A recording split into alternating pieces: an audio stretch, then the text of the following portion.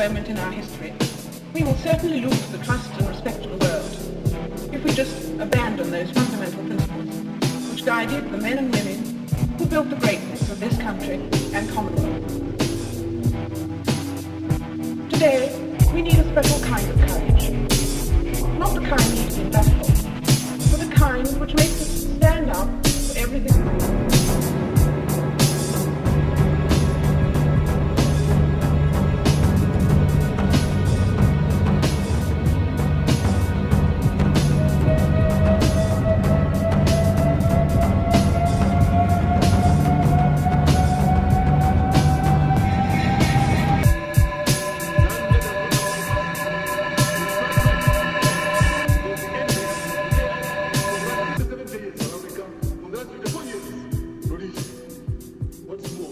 Century